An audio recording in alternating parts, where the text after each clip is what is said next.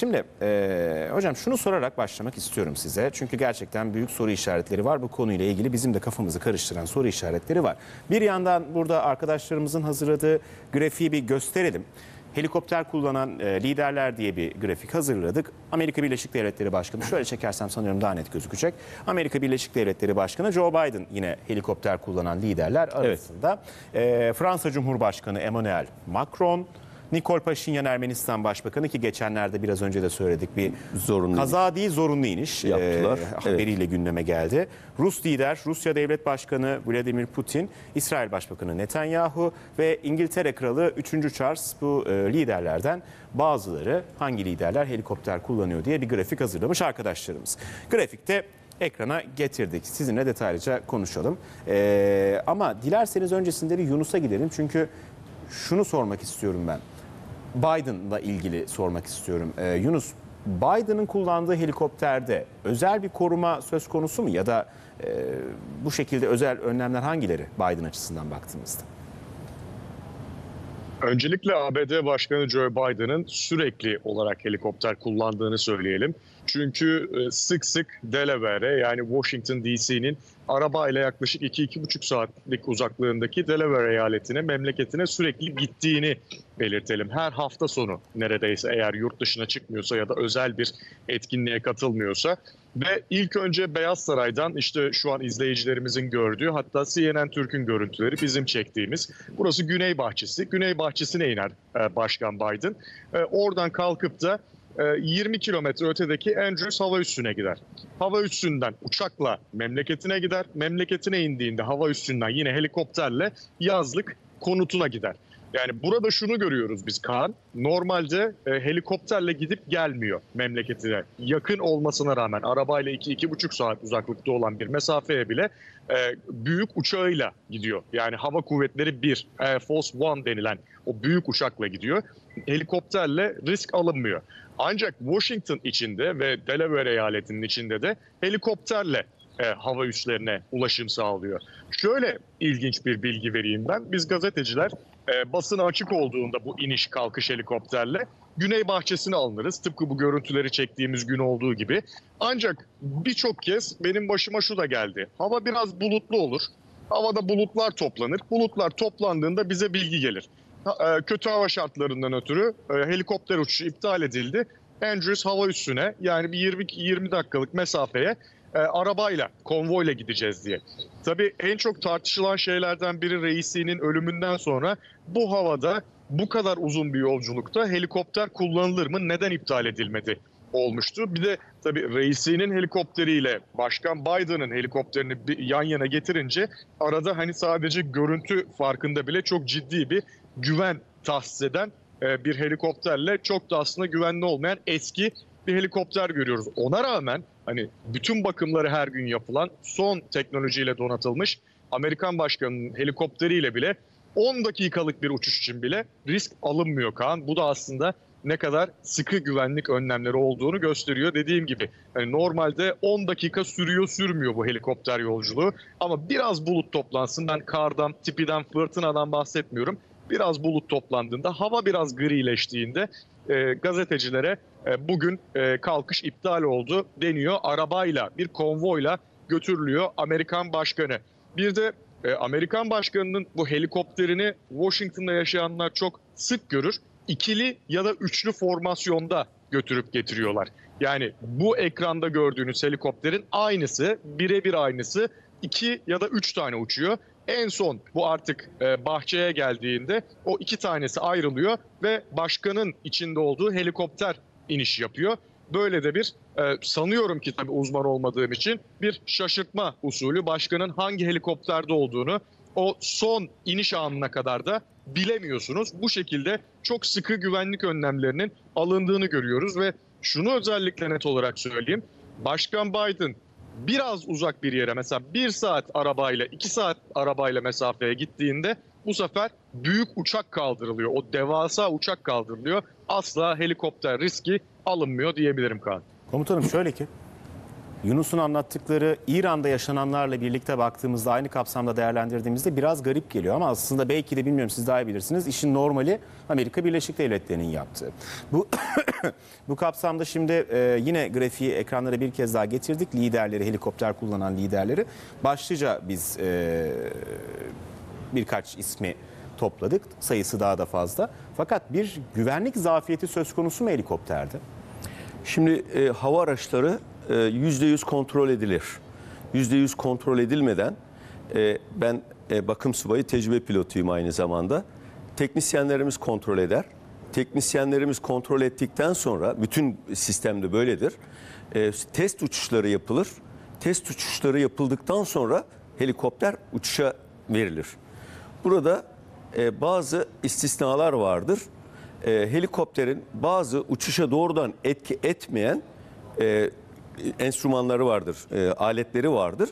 Bu aletlerin belli sürelerle e, iki tanedir, bir tanesi e, tam hassas değildir gibi özel durumlarda kısıtlı şartlarla uçuşa verilebilir, verilebilir helikopterler. Ancak bunlar VIP helikopterlerinde hiçbir zaman müsaade edilmez. VIP helikopterleri hem çift motorlu olması hem bütün aletlerinin çift olması e, ve biraz önce Yunus Bey'in de söylediği gibi e, mümkün olduğu kadar da aynı helikopterden iki tane olarak e, uçması hangisinde liderin olduğu ile ilgili e, bilgi olmaması, kesinleşmemesi için. Bunlar tabii e, öncelikle hava aracını e, bir defa niye kullanıyor liderler onu sormak lazım. Burada e, birincisi e, gerçekten liderlerin zamanı çok e, kısadır, değerlidir. Onların atmaları gereken bir imza bile birilerinin beklentisidir. Dolayısıyla o imza atılmadığı zaman e, birçok iş durur. Dolayı e, liderlerin zaman kazanması için bütün unsurlar e, dikkate alınır ve kullanılır. E, biz özellikle uçakla uçak kullanılması hatta tarifeli uçak değil de bazı zamanlarda çok e, dünya lideri pozisyonunda olanlar yani G20 ülkelerinin liderlerinin neredeyse tamamı mutlaka uçağı çok sık kullanmalıdırlar. 1988 yılında e, Sayın Cumhurbaşkanı rahmetli Turgut Özal için bir uçak alındığında e, neden böyle bir uçak alındığı gibi bir konu olmuştu. Ancak o uçağın alındığı günlerde Sayın Cumhurbaşkanı Turgut Özal'ın bir Van e, Kars'ta açılışı vardı. Aynı gün İstanbul'da bir e, faaliyete katılması gerekiyordu ve akşamda Ankara'da olması gerekiyordu. Yani şimdi siz bir liderin e, zamanının bu kadar değerli olduğunu, bütün herkesin onun imzasını beklediği bir ortamda onun e, bir takım zamanla ilgili konuları aşmamasını bekleyemezsiniz. Bu e, normal olmaz. İkincisi helikopter neden kullanılır? Helikopter uçağın inip kalkamayacağı yerlerde helikopter kullanılması gerekir. Yani uçak e, e, bir Mesafe olarak diyorsunuz. Tabii ki mesafe değil. Meydan yoktur orada. an- yani uçak mesela e, bu işte e, reisi olayında şöyle bir konu gündeme geldi. Reisi neden uçakla gitmedi de helikopterle gitti diye. Evet aslında bakıldığı zaman e, reisinin bulunduğu yerden e, en yakın meydana gidip oradan uçakla gidebilirdi. Ancak e, o boyun noktasından geçirebileceği düşünüldüğü için helikopterle daha kısa zamanda ulaşılabileceği yani uçağa inme binme programlarını atlamaya çalıştılar. Şimdi biraz önce Amerika'da söylendiği gibi aynı husus Türkiye'de de söz konusu. Yani şimdi düşünün İstanbul'da e, Cumhurbaşkanı'nın e, buradan onu da söyleyeyim ben Sayın Cumhurbaşkanımızın protokolünde bulunan bir kişi olarak uzun süre İstanbul'da görev yapıp e, her gün her hafta 2-3 defa o protokolün içinde olan bir kişi olarak e, Sayın Cumhurbaşkanımız tek başına faaliyetlerini yürütemez. Yani burada bir yanlış anlama oluyor. Halkımız da bunu e, belki anlatmak lazım.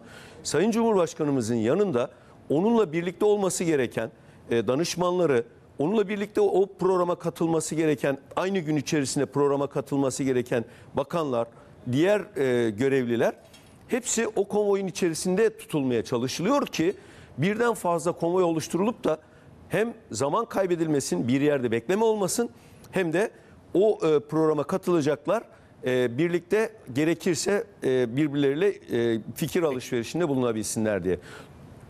Tabii e, Cumhurbaşkanı reisinin e, helikopterinde Dışişleri Bakanı Abdullahiyan'ın e, olması sorgulandı. Niye? Çünkü o kadar zaman içerisinde ayrı bir helikopterde uçması Evet. gerekirdi diye. İşte maalesef e, devlet büyükleri zamanları çok kıymetli olduğu için Abdullahiyan'la beraber zaman geçiremeyeceği için Peki. o, o helikopterde olmak gibi bir durum oldu. Ben en son olarak e, helikopterlerin özelliklerinden tekrar bahsedeyim. Helikopterler mutlaka çift motorlu olur. Mümkünse çift helikopter olur. Ondan sonrasında da onun ineceği yerler öncesinden çok fazla kişi tarafından bilinmez. Bunları kapalı olarak yaparlar. E, tabii helikopter, burada çeşitli helikopterler var. Neden Amerikan helikopteri? İşte Rus Neden Amerikan helikopteri? e, şunun için Amerikan helikopteri, helikopterin geliştirilmesi e, Skorsky bile Rus'tur aslen ama Amerika'da geliştirmiştir helikopteri. Dolayısıyla bunların hepsi birleşir. Mesela e, Emmanuel- Macron'un kullandığı helikopter Eurocopter'ın bir helikopteridir. E, e, Nikol Pashinya'nın kullandığı helikopter e, Rus helikopteridir. Mi, Mi e, e, 18 olarak veya Mi 8 olarak kullanılan helikopterlerdir. Dolayısıyla ama e, tabii ki Vla- Vladimir Putin'in de kullandığı e, helikopter, Rus Haliyle, helikopteri. Ama diğer liderler e, hem e, içerisinde e, elektrik elektronik donanımı fazla olduğu için bunu tercih ederler. Komutanım şöyle şöyle bir e, yargıya varmak, yargı değil ama şöyle bir e, kanıya varmak doğru olur mu acaba? Düşen ya da kaza yapan helikopterlerin çoğu Amerikan yapımı. Çünkü çok fazla kullanılıyor. Ee, Rus helikopterler genelde e, söylediğimiz gibi Doğu blok- bloku ülkeleri, eski Doğu bloku ülkeleri tarafından kullanılıyor. E, ve e, diğer e, liderlerin çoğu ama burada şu değil, helikopterlerin düştüğü zamana bakmak lazım. Benim e, bana bir video gelmişti. E, aynı e, reisinin düştüğü helikopterin kazasını anımsatan bir video. Sonra öğrendim ki 2019 yılında Güney Amerika'da bir kaza. E, işte pilotun bir tanesi e, bir taraftan video çekiyor telefonla. Diğer pilot sislerin içerisinden hareket ediyor.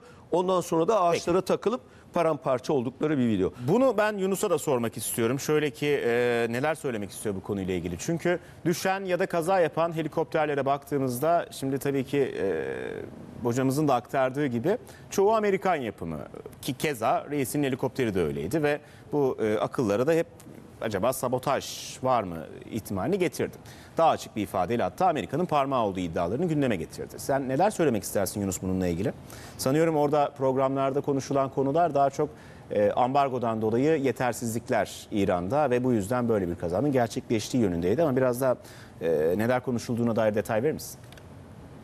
Aslında bu iddiayı e, daha sıcağı sıcağına reisinin e, bulunduğu kaza bölgesi hemen sonrasında İran'ın eski Dışişleri Bakanı Cevat Zarif söylemişti. Aslında bu kazada e, suçun bir bölümü Amerika Birleşik Devletleri'ndedir. Çünkü bize yaptırım uyguladılar, ambargo uyguladılar. Biz de parçalarını alamadık, bakımlarını yapamadık dedi. Bu tabii e, aslında biraz e, tuhaf da olarak görülebilecek bir açıklama e, Kaan. Çünkü çok uzun yıllı, uzun yıllardır e, bu ambargo var. Çok uzun zamandır böyle bir kaza olmamışken, şimdi olmuşken parmağı Amerika Birleşik Devletleri'ne çevirdi.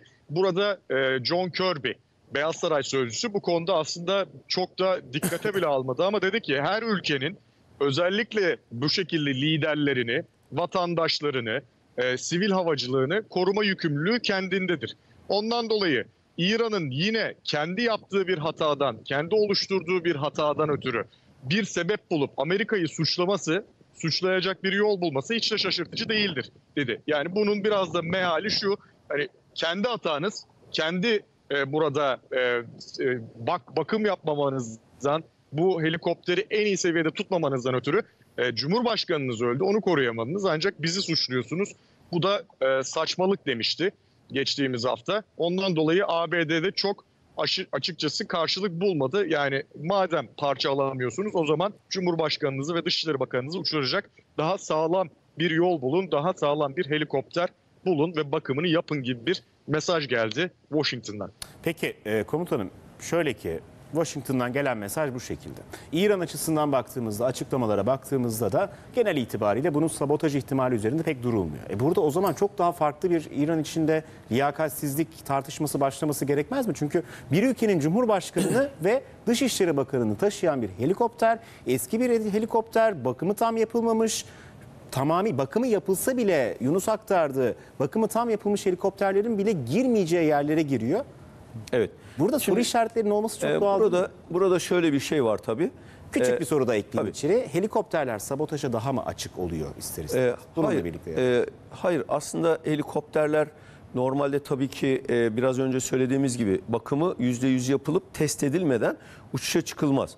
E, bakın helikopterde e, küçücük bir vidanın e, bazı zamanlarda bir tek contanın yani o e, sızdırmazlıkla ilgili olan e, contanın hatalı olması o uçuşun yapılmaması anlamına gelir. Bunu hiçbir pilot e, kabul etmez. Kendi- Uçakta böyle hassasiyetler var Uçakta mı? da aynı hassasiyetler vardır ama şimdi genelde uçaklar e, meydandan meydana uçuşlar yaptığı için helikopterlerde ise helikopter nasıl olsa e, her yere iner kalkar. Dolayısıyla herhangi bir risk olduğunda e, bir yere inerler orada beklerler.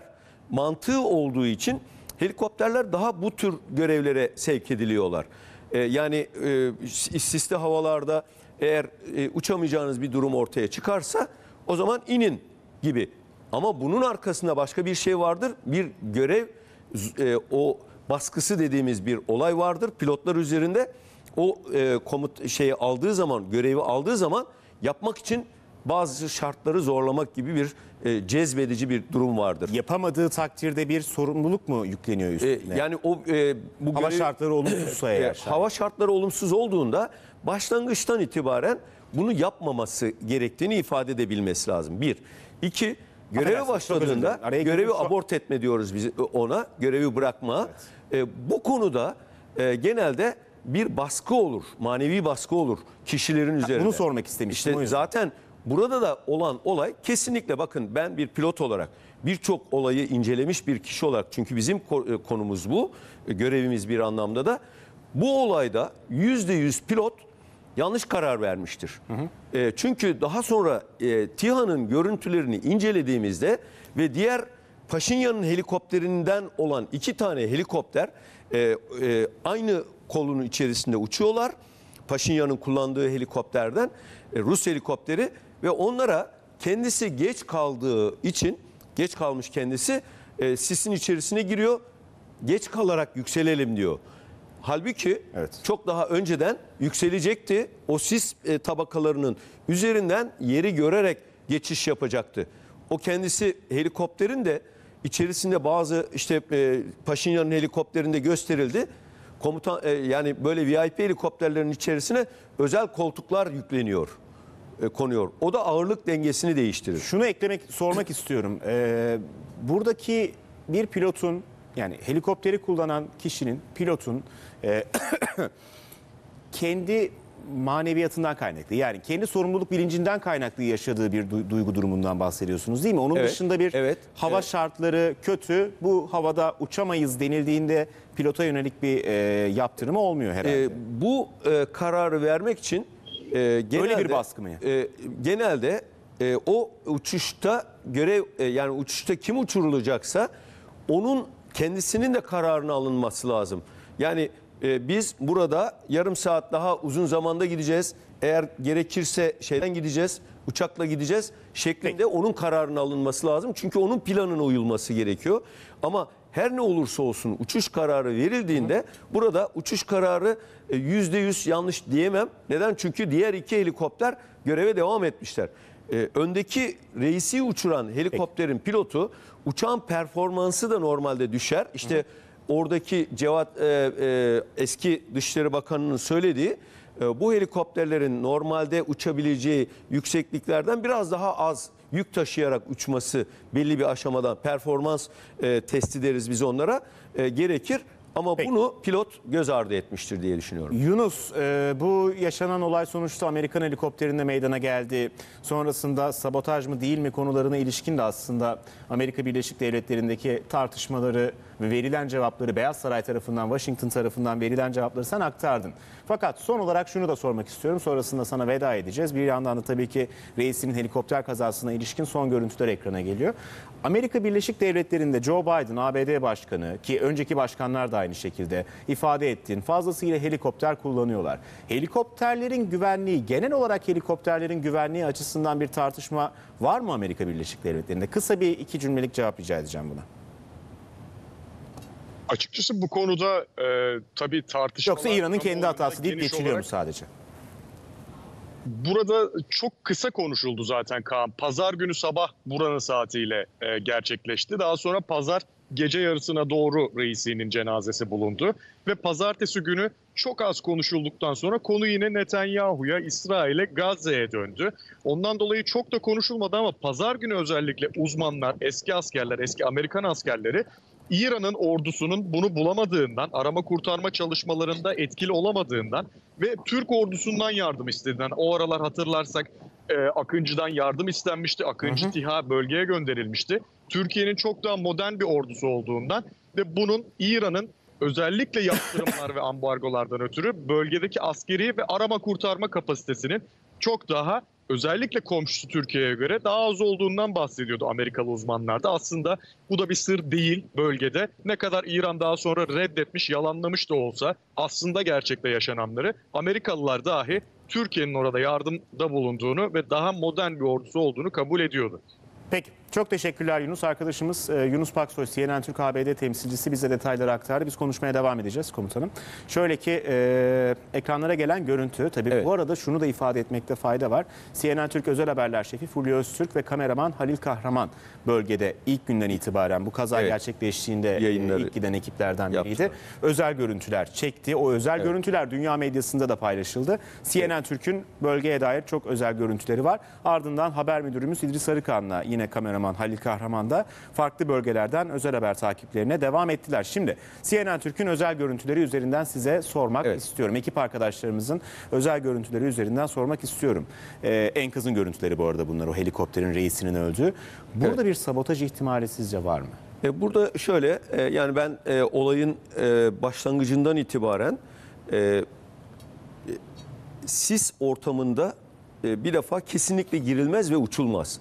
Sis ortamında şöyle bir durum olsaydı Yakınlaşma şansınız da Evet, varsa tabii, tabii. görüntü üzerinden bakın E, sisten sis- dolayı askerler tabii, bile tabii. zor görülüyor. Sis ortamında e, eğer bu alan e, ağaçlık alan olmasaydı buradaki görüntüye geleceğim çünkü ağaçlık alan olmasaydı şöyle bir durum olabilirdi. E, helikopter güç yetmezliği geç kalması sonucunda pilotun çünkü bu örnekleri başka yerlerde yaşanmıştır.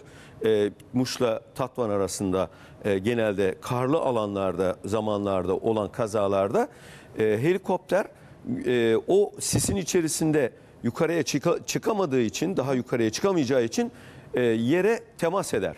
Sert iniş demelerinin şeyi birinci açıklama buradaydı.